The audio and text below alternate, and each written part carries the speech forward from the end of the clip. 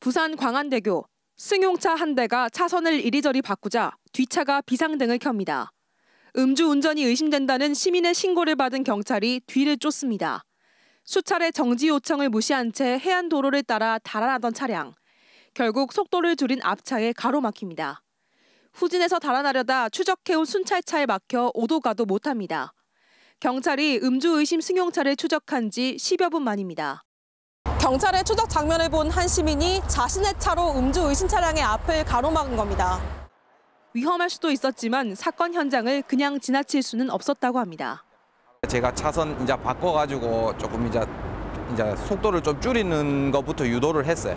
하고 그래가지고 이제 조금 채우시길래 저도 이제 그냥 아예 정차를 하고 경찰분 오시는 거 보고 창문 열고 하는 거 보고 그래서 저는 이제 귀가했어요. 적발된 승용차 운전자의 혈중 알코올 농도는 면허 취소 수준인 0.08%를 넘었습니다. 저희가 봤을 때는 좀 차선을 이렇게 좀 왔다 갔다 지그재그 운전을 하고 어, 그 터널 같은 경우에는 이제 벽을 한번 받을 뻔한 그런 위험한 상황도 조금 있었던 것 같습니다. 음주 운전자가 도주한 거리는 부산 해안다리 세 곳을 포함해 20km가 넘습니다.